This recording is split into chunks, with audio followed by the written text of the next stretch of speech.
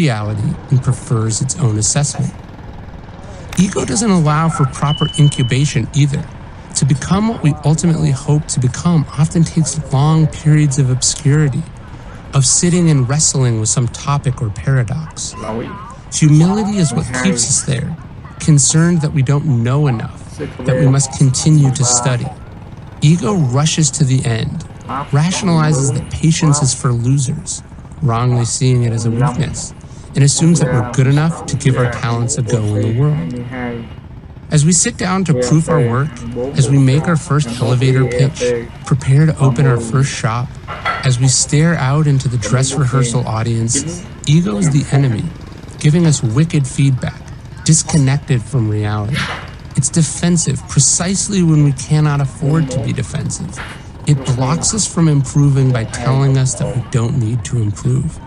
Then we wonder why we don't get the results we want, why others are better, and why their success is more lasting. Today, books are cheaper than ever. Courses are free. Access to teachers is no longer a barrier. Technology has done away with that. There is no excuse for not getting your education. And because the information we have before us is so vast, there is no excuse for ever ending that process either. Our teachers in life are not only those that we pay, as Hammett paid Satriani, nor are they necessarily part of some training dojo like it is for Shamrock. Many of the best teachers are free. They volunteer because, like you, they were once young and had the same goals as you. Many don't even know that they are teaching. They are simply exemplars or even historical figures whose lessons survive in books and essays. But ego makes us so hard headed and hostile to feedback that it drives them away or puts them beyond our reach. It's why the old proverb says, when the student is ready, the teacher appears.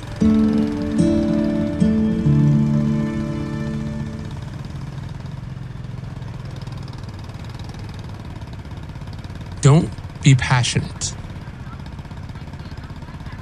You seem to want that vivida vis animae, which spurs and excites most young men to please, to shine, to excel.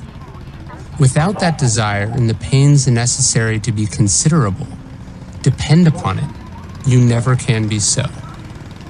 Lord Chesterfield. Passion.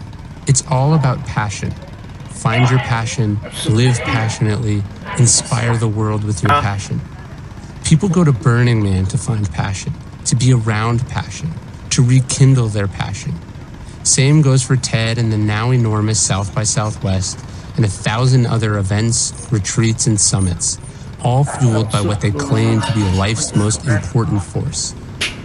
Here's what those same people haven't told you. Your passion may be the very thing holding you back from power or influence or accomplishments. Because just as often, we fail with, no, because of passion. Early on in her ascendant political career, a visitor once spoke of Eleanor Roosevelt's passionate interest in a piece of social legislation. The person had meant it as a compliment, but Eleanor's response is illustrative. Yes, she did support the cause, she said, but I hardly think the word passionate applies to me. As a genteel, accomplished, patient woman, born while the embers of the quiet Victorian virtues were still warm, Roosevelt was above passion. She had purpose, she had direction. She wasn't driven by passion, but by reason. George W. Bush, Dick Cheney, and Donald Rumsfeld, on the other hand, were passionate about Iraq. Christopher McCandless was bursting with passion as he headed into the wild. So was Robert Falcon Scott as he set out to explore the Arctic, bitten as he was with the pole mania, as were many climbers of the tragic 1996 Everest climb, momentarily struck with what psychologists now call goal idiocy. The inventor and the investors of the Segway believed that they had a world changing innovation on their hands and put everything into evangelizing it. That all these talented, smart individuals were fervent believers in what they sought to do was without dispute. It's also clear that they were also unprepared and incapable of grasping the objections and real concerns of everyone else around them. The same is true for countless entrepreneurs, authors, chefs, business owners, politicians, and designers that you've never heard of and never will hear of because they sunk their own ships before they'd hardly left the harbor. Like every other dilettante, they had passion and lacked something else. To be clear, I'm not talking about caring. I'm talking about passion of a different sort unbridled enthusiasm, our willingness to pounce on what's in front of us with the full measure of our zeal, the bundle of energy that our teachers and gurus have assured us is our most important asset. It is that burning, unquenchable desire to start or to achieve some vague, ambitious, and distant goal. This seemingly innocuous motivation is so far from the right track it hurts. Remember, zealot is just a nice way to say crazy person. A young basketball player named Louis Alcindor Jr., who won three national championships with John Wooden at UCLA, used one word to describe the style of his famous coach dispassionate, as in not passionate. Wooden wasn't about rah rah speeches or inspiration. He saw those extra emotions as a burden. Instead, his philosophy was about being in control and doing your job and never being, quote, passion's slave. The player who learned that lesson from Wooden would later change his name to one you remember Kareem Abdul Jabbar. No one would describe Eleanor Roosevelt or John Wooden or his notoriously quiet player Kareem as apathetic. They wouldn't have said that they were frenetic or zealous either. Roosevelt, one of the most powerful and influential female activists in history, and certainly America's most important First Lady, was known primarily for her grace, her poise, and her sense of direction. Wooden won 10 titles in 12 years, including seven in a row, because he developed a system for winning and worked with his players to follow it.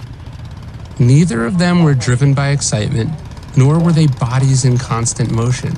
Instead, it took them years to become the person they became known as. It was a process of accumulation. In our endeavors, we will face complex problems, often in situations we've never faced before. Opportunities are not usually deep virgin pools that require courage and boldness to dive into, but instead are obscured and dusted over, blocked by various forms of resistance. What is really called for in these circumstances is clarity, deliberateness, and methodological determination. But too often we proceed like this a flash of inspiration. I want to do the best and biggest blank ever be the youngest blank, the only one to ever blank, the firstest with the mostest. The advice? Okay, well, here's what you need to do step by step to accomplish it. The reality? We hear what we want to hear. We do what we feel like doing. And despite being incredibly busy and working very hard, we accomplish very little. Or worse, find ourselves in a mess we never anticipated. Because we only seem to hear about the passion of successful people we forget that failures shared the same trait. We don't conceive of the consequences until we look at their trajectory. With the Segway, the inventor and investors wrongly assumed a demand much greater than ever existed. With the run up to the war in Iraq, its proponents ignored objections and negative feedback because they conflicted with what they so deeply needed to believe. The tragic end to the Into the Wild story is the result of youthful naivete and a lack of preparation. With Robert Falcon Scott, it was overconfidence and zeal without consideration of the possible dangers. We imagine Napoleon was brimming with passion as he contemplated the invasion of Russia, and only finally became free of it as he limped home with a fraction of the men he'd so confidently left with. In many more examples, we see the same mistakes overinvesting, underinvesting, acting before someone is really ready, breaking things that require delicacy, not so much malice as the drunkenness of passion. Passion typically masks a weakness. Its breathlessness and impetuousness and franticness are poor substitutes for discipline, for mastery, for strength, and purpose and perseverance. You need to be able to spot this in others and in yourself, because while the origins of passion may be earnest and good, its effects are comical and then monstrous. Passion is seen in those who can tell you in great detail who they intend to become and what their success will be like. They might even be able to tell you specifically when they intend to achieve it and describe to you legitimate and sincere worries they have about the burdens of such accomplishments. They can tell you all the things they're going to do or have even begun, but they cannot show you their progress because there rarely is any. How can someone be busy and not accomplish something? Well, that's the passion paradox. If the definition of insanity is trying the same thing over and over and expecting different results, then passion is a form of mental retardation, deliberately blunting our most critical cognitive functions. The waste is often appalling in retrospect. The best years of our life burned out like a pair of spinning tires against the asphalt. Dogs, God bless them, are passionate. As numerous squirrels, birds, boxes, blankets, and toys can tell you, they do not accomplish most of what they set out to do. A dog has an advantage in all this a graciously short term memory that keeps at bay the creeping sense of futility and impotence. Reality for us humans, on the other hand, has no reason to be sensitive to the illusions we operate under. Eventually, it will intrude. What humans require in our ascent is purpose and realism. Purpose, you could say, is like passion with boundaries. Realism is detachment and perspective. When we are young or when our cause is young, we feel so intensely. Passion, like our hormones, runs strongest in youth, that it seems wrong to take it slow. This is just our impatience. This is our inability to see that burning ourselves out or blowing ourselves up isn't going to hurry the journey along. Passion is about. I'm so passionate about blank. Purpose is to and for. I must do blank. I was put here to accomplish blank. I'm willing to endure blank for the sake of this. Actually, purpose de emphasizes the I. Purpose is about pursuing something outside yourself as opposed to pleasuring yourself. More than purpose, we also need realism. Where do we start? Where do we go first? What do we do right now? How are we sure that what we are doing is moving us forward? What are we benchmarking ourselves against? Great passions are maladies without hope, as Goethe once said, which is why a deliberate, purposeful person operates on a different level beyond the sway or the sickness. They hire professionals and use them. They ask questions. They ask what could go wrong. They ask for examples. They plan for contingencies. Then they are off to the races. Usually they get started with small steps, complete them, and look for feedback on how the next set can be better. They lock in gains and then they get better as they go, often leveraging those gains to grow exponentially rather than arithmetically. Is an iterative approach less exciting than manifestos, epiphanies, flying across the country to surprise someone, or sending 4,000 word stream of consciousness emails in the middle of the night? Of course. Is it less glamorous and bold than going all in and maxing out your credit cards because you believe in yourself? Absolutely. Same goes for the spreadsheets, the meetings, the trips, the phone calls, software tools, and internal systems, and every how to article ever written about them and the routines of famous people.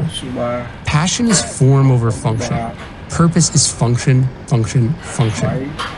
The critical work that you want to do will require your deliberation and consideration, not passion, not naivete. It would be far better if you were intimidated by what lies ahead, humbled by its magnitude, and determined to see it through regardless. Leave passion for the amateurs. Make it about what you feel you must do and say, not what you care about and wish to be. Remember Talleyrand's epigram for diplomats Surtout pas trop de zèle. Above all, not too much zeal. Then you will do great things. Then you will stop being your old, good intentioned, but ineffective self.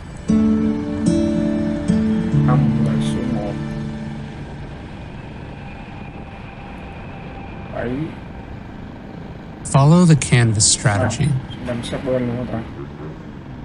Great men have almost always shown themselves as ready to obey as they afterwards proved able to command. Lord Mahon. In the Roman system of art and science, there existed a concept for which we have only a partial analog. Successful businessmen, politicians, or rich playboys would subsidize a number of writers, thinkers, artists, and performers. More than just being paid to produce works of art, these artists performed a number of tasks in exchange for protection, food, and gifts. One of the roles was that of an anteambulo, literally meaning one who clears the path.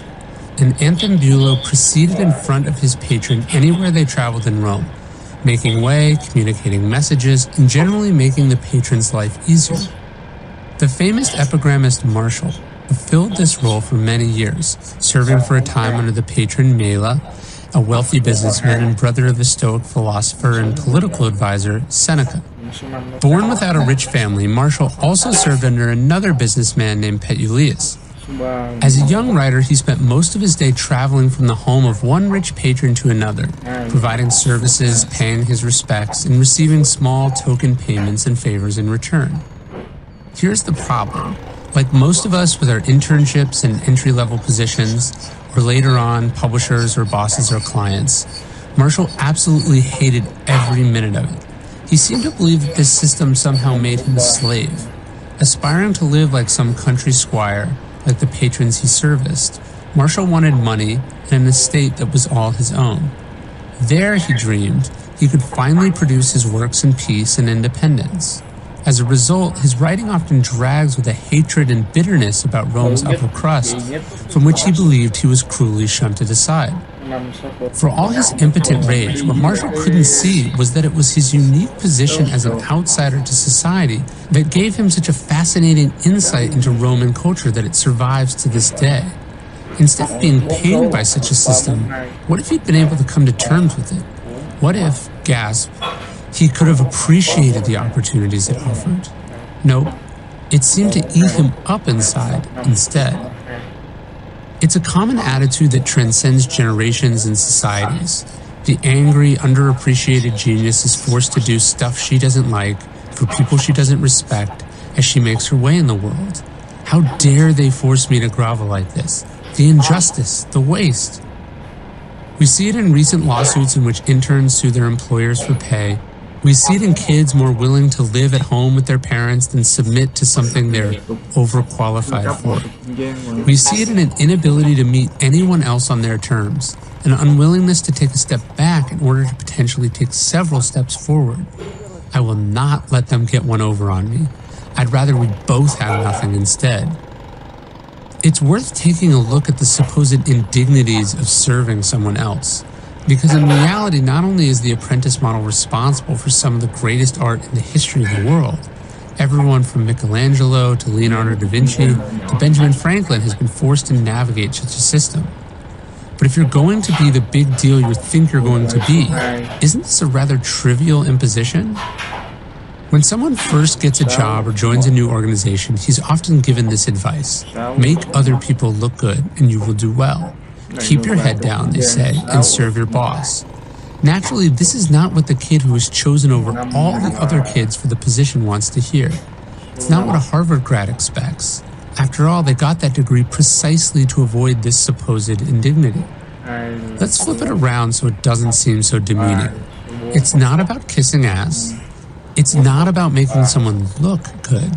It's about providing the support so that others can be good the better wording for this advice is then find canvases for other people to paint on. Be an anteambulo. Clear the path for people above you, and you will eventually create a path for yourself. When you're just starting out, we can be sure of a few fundamental realities. One, you're not nearly as good or as important as you think you are. Two, you have an attitude that needs to be readjusted. Three, most of what you think you know where most of what you learn in books or in school is out of date or wrong. There's one fabulous way to work all of that out of your system. Attach yourself to people and organizations who are already successful and subsume your identity into theirs and move both forward simultaneously. It's certainly more glamorous to pursue your own glory, though hardly as effective. Obeisance is the way forward. That's the other side of this attitude. It reduces your ego at a critical time in your career, letting you absorb everything you can without the obstructions that block others' vision and progress. No one is endorsing sycophancy. Instead, it's about seeing what goes on from the inside and looking for opportunities for someone other than yourself. Remember that anteambulo means clearing the path, finding the direction someone already intended to head, and helping them pack, freeing them up to focus on their strengths. In fact, making things better rather than simply looking as if you are. Many people know of Benjamin Franklin's famous letters written under names like Silence Dogood. What a clever young prodigy, they think, and miss the most impressive part entirely. Franklin wrote those letters, submitted them by sliding them under the print shop door, and received absolutely no credit for them till much later in his life. In fact, it was his brother, the owner, who profited from their immense popularity, regularly running them on the front page of his newspaper. Franklin was playing the long game, though, learning how public opinion worked, generating awareness of what he believed in, crafting his style and tone and wit. It's a strategy he used time and again over in his career, once even publishing in his competitor's paper in order to undermine a third competitor. For Franklin saw the constant benefit in making other people look good and letting them take credit for your ideas. Bill Belichick, the four time Super Bowl winning head coach of the New England Patriots made his way up the ranks of the NFL by loving and mastering the one part of the job that coaches disliked at the time analyzing film. His first job in professional football for the Baltimore Colts was one he volunteered to take without pay, and his insights, which provided ammunition and critical strategies for the game, were attributed exclusively to the more senior coaches. He thrived on what was considered grunt work, asked for it, and strove to become the best at precisely what others thought they were too good for. He was like a sponge, taking it all in, listening to everything, one coach said. You gave him an assignment and he disappeared into a room and you didn't see him again until it was done. And then he wanted to do more, said another. As you can guess, Belichick started getting paid very soon. Before that, as a young high school player, he was so knowledgeable at the game that he functioned as sort of an assistant coach even while playing the game. Belichick's father, himself an assistant football coach for Navy, taught him a critical lesson in football politics. That if he wanted to give his coach feedback or question a decision, he needed to do it in private and self effacingly so as not to offend his superior. He learned how to be a rising star without threatening or alienating anyone. In other words, he'd mastered the canvas strategy. You can see how easily entitlement and a sense of superiority, the trappings of ego, would have made the accomplishments of either of these men impossible. Franklin never would have been published if he'd prioritized credit over creative expression. Indeed, when his brother found out, he literally beat him out of jealousy and anger. Belichick would have pissed off his coach and then probably been benched if he'd one upped him in public. He certainly wouldn't have taken his first job for free and he wouldn't have sat through thousands of hours of film if he cared about status. Greatness comes from humble beginnings. It comes from grunt work. It means that you're the least important person in the room until you change that with results. There is an old saying say little, do much. What we really have to do is update and apply a version of that to our early approach. Be lesser, do more. Imagine if for every person you met, you thought of some way to help them something you could do for them, and you looked at it in a way that entirely benefited them and not you. The cumulative effect this would have over time would be profound. You would learn a great deal by solving diverse problems. You develop a reputation for being indispensable. You'd have countless new relationships. You'd have an enormous bank of favors to call upon down the road. That's what the Canvas strategy is about helping yourself by helping others making a concerted effort to trade your short term gratification for a longer term payoff. Whereas everyone else wants to get credit and be respected, you could forget credit. You can forget it so hard that you're glad when others get it instead of you. That was your aim, after all. Let others take their credit on credit while you defer and earn interest on the principal. The strategy part of it is the hardest. It's easy to be bitter, like Martial to hate even the thought of subservience, to despise those who have more means, more experience, more status than you, to tell yourself that every second not spent doing your work or working on yourself is a waste of your gift, to insist, I will not be demeaned like this.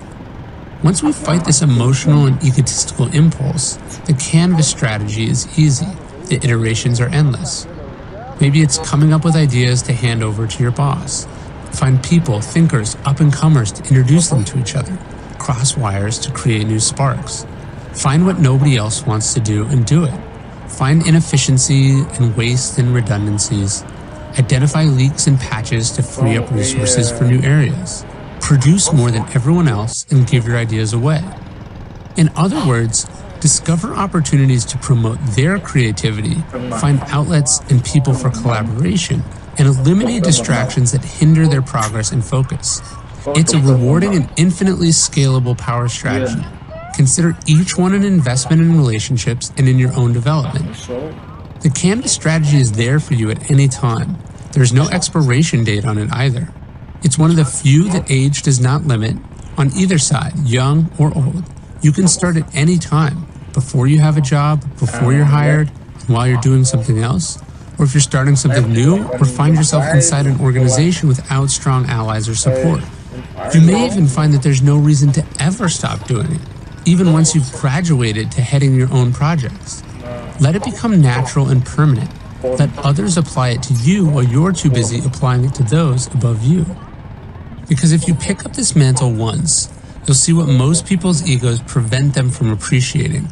The person who clears the path ultimately controls its direction, just as the canvas shapes the painting. 6 giờ 45 cái con ngắn nhất 150 restrain yourself.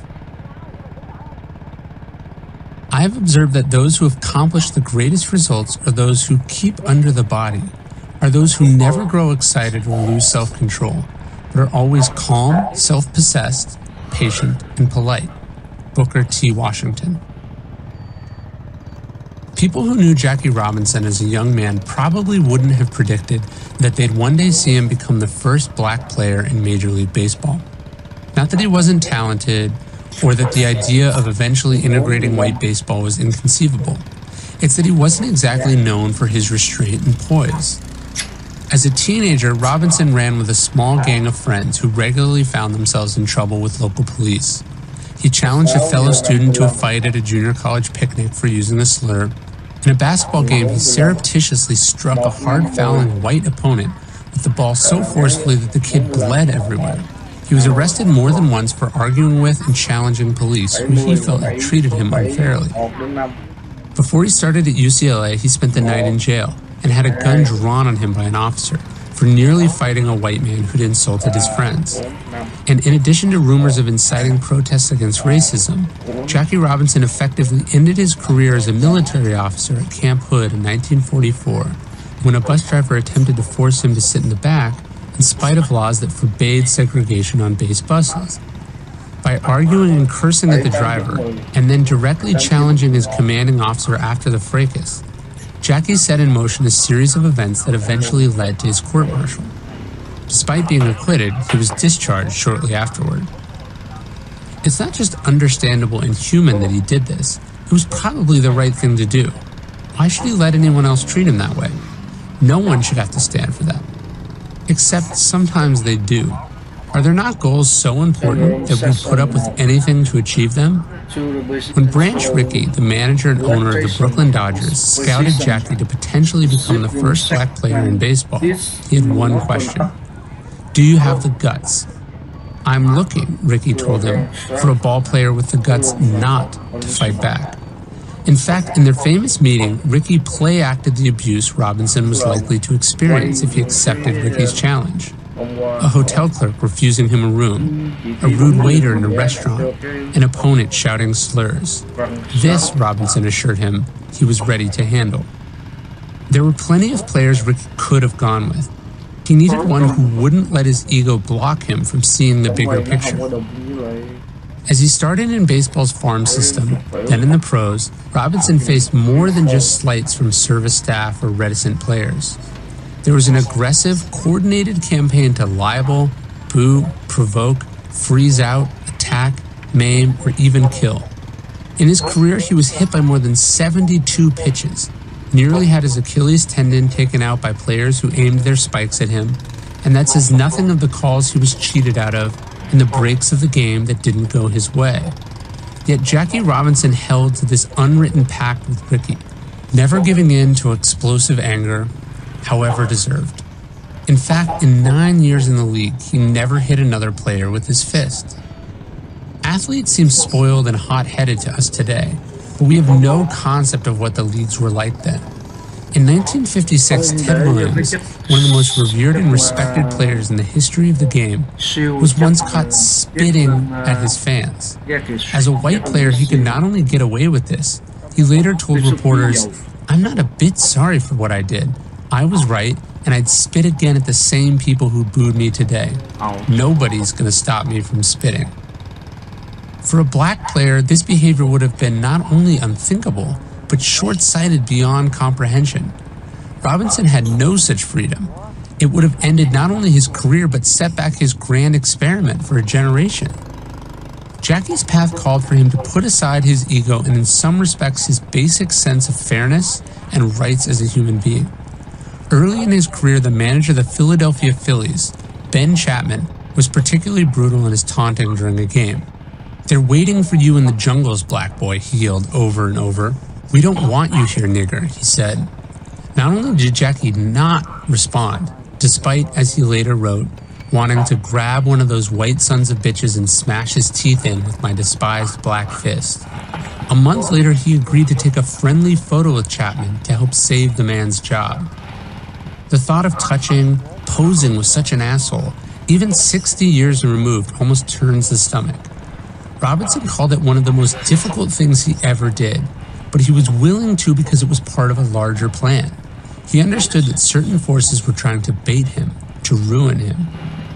Knowing what he wanted and needed to do in baseball, it was clear what he would have to tolerate in order to do it. He shouldn't have had to, but he did. Our own path, whatever we aspire to, will in some ways be defined by the amount of nonsense we're willing to deal with. Our humiliations will pale in comparison to Robinson's, but it will still be hard it will still be tough to keep our self control. The fighter Bas Rutten sometimes writes the letter R on both his hands before fights, for the word rusta, which means relax in Dutch. Getting angry, getting emotional, losing restraint is a recipe for failure in the ring. You cannot, as John Steinbeck once wrote to his editor, lose temper as a refuge from despair. Your egos will do you no favors here, whether you're struggling with a publisher, with critics, with enemies, or a capricious boss. It doesn't matter that they don't understand or that you know better. It's too early for that. It's too soon. Oh, you went to college? That doesn't mean the world is yours by right, but it was the Ivy League? Well, people are still going to treat you poorly, and they'll still yell at you. You have a million dollars or a wall full of awards? That doesn't mean anything in the new field you're trying to tackle. It doesn't matter how talented you are, how great your connections are, or how much money you have. When you want to do something, something big and important and meaningful, you will be subjected to treatment ranging from indifference to outright sabotage. Count on it. In this scenario, ego is the exact opposite of what is needed. Who can afford to be jerked around by impulses or believe that you're God's gift to humanity or too important to put up with anything you don't like? Those who have subdued their ego understand that it doesn't degrade you when others treat you poorly, it degrades them. Up ahead, there will be slights, dismissals, little fuck yous, one sided compromises. You'll get yelled at. You'll have to work beyond the scenes to salvage what should have been easy. All of this will make you angry. This will make you want to fight back. This will make you want to say, I am better than this. I deserve more. Of course, you'll want to throw it in other people's faces. Worse, you'll want to get in other people's faces, people who don't deserve the respect, recognition, or rewards they are getting. In fact, these people will often get perks instead of you. When someone doesn't reckon you with the seriousness that you'd like, the impulse is to correct them. As we all wish to say, Do you know who I am? You want to remind them of what they've forgotten. Your ego screams for you to indulge it. Instead, you must do nothing. Take it. Eat it until you're sick. Endure it. Quietly brush it off and work harder. Play the game. Ignore the noise. For the love of God, do not let it distract you. Restraint is a difficult skill but a critical one. You will often be tempted. You will probably even be overcome. No one is perfect with it, but try we must. It is a timeless fact of life that the up and coming must endure the abuses of the entrenched. Robinson was 28 when he started playing with the Dodgers, and he'd already paid plenty of dues in life as both a black man and a soldier. Still, he was forced to do it again. It's a sad fact of life that new talents are regularly missed, and even when recognized, often unappreciated. The reasons always vary, but it's part of the journey. But you're not able to change the system until after you've made it. In the meantime, you have to find some way to make it suit your purposes, even if those purposes are just extra time to develop properly, to learn from others on their dime, to build your base and establish yourself. trồng dấu để cái ờ, As Robinson succeeded, after he proved himself as the Rookie of the Year and as an MVP, and as his spot on the Dodgers was certain, he began to more clearly assert himself and his boundaries as a player and as a man.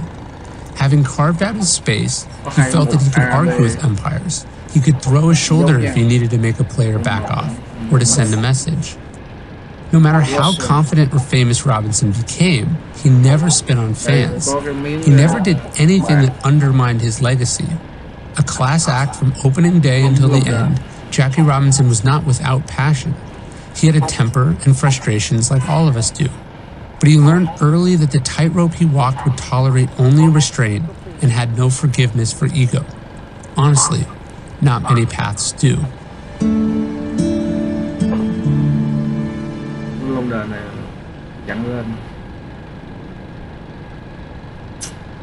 Get out of your own head.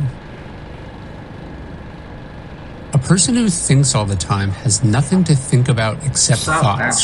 So he loses touch with reality and lives in a world of illusions. Alan Watts. It is Holden Caulfield, the self absorbed boy walking the streets of Manhattan, struggling to adjust to the world. It is a young Arturo Bandini in Los Angeles, alienating every person he meets as he tries to become a famous writer. Is the blue blood Binx Bolling in 1950s uptown New Orleans, trying to escape the everydayness of life. These fictional characters all had something in common. They couldn't get out of their own heads. In J.D. Salinger's The Catcher in the Rye, Holden can't stay in school, is petrified of growing up, and wants desperately to get away from it all.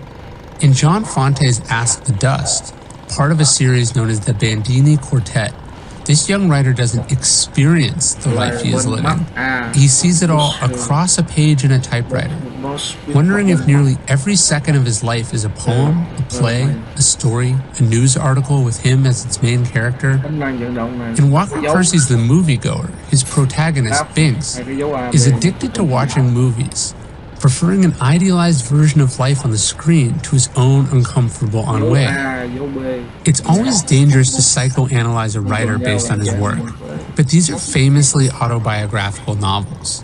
When we look at the writer's lives, the facts are clear. J.D. Salinger really did suffer from a sort of self obsession and immaturity that made the world too much for him to bear, driving him from human contact and paralyzing his genius. John Fante struggled to reconcile his enormous ego and insecurity with relative obscurity for most of his career, eventually abandoning his novels for the golf course and Hollywood bars. Only near death, blind with diabetes, was he finally able to get serious again. The Moviegoer, Walker Percy's first book, came only after he'd conquered his almost teenage indolence and existential crisis, which lasted alarmingly into his 40s. How much better could these writers have been had they managed to get through these troubles earlier? này có cái dấu How much easier would their lives have been? dấu một này dấu It's an urgent question they pushed onto their readers with their cautionary characters. Because sadly, this trait, the inability to get out of one's head, is not restricted to fiction. 2,400 years ago, Plato spoke of the type of people who are guilty of feasting on their own thoughts. It was apparently common enough even then to find people who, instead of finding out how something they desire might actually come about, they pass that over so as to avoid tiring deliberations about what's possible. They assume that what they desire is available and proceed to arrange the rest, taking pleasure in thinking through everything they'll do when they have what they want, thereby making their lazy souls even lazier. Feel people preferring to live in passionate fiction than in actual reality. The Civil War general George McClellan is the perfect example of this archetype. He was chosen to command the Union forces because he checked all of the boxes of what a great general should be West Point grad, proven in battle, a student of history, of regal bearing, loved by his men. Why did he turn out to be quite possibly the worst Union general, even in a crowded field of incompetent and self absorbed leaders? Because he could never get out of his own head. He was in love with his vision of himself as the head of a grand army. He could prepare an army for battle like a professional. But when it came to lead one into battle, when rubber needed to meet the road, troubles arose. He became laughably convinced that the enemy was growing larger and larger. It wasn't. At one point, he actually had a three times advantage. But he was convinced of constant threats and intrigues from his political allies. There weren't any.